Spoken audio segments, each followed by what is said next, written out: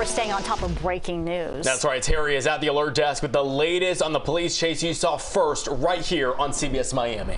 Yeah, take a good look at your screen. This is a police chase we told you about quite a while ago at this point, and you're looking at video we just cut of the aftermath of this. Taking a look at I-95, this Chevy Tahoe here traveling through the streets, weaving in and out of traffic here, eventually heading onto the airport expressway and then into the airport.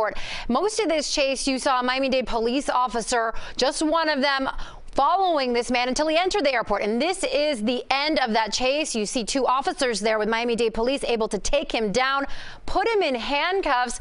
No word on why he decided to go into the air, uh, airport, which is a very busy area in the morning, really all the time. And let's head you out to some, let's take you out to some live pictures now of Chopper 4 still over this area. It appears they're about to put this suspect in the back of one of their police cars. But as you can see, a very active scene here at the Miami International Airport this morning. No word yet on why this man was running or uh, uh, heading this chase away from officers at this time. No word on what led up to this chase, but we are working on getting more information here on what did lead up to this and what charges this man will possibly be facing. Of course, we'll keep on top of this all morning long.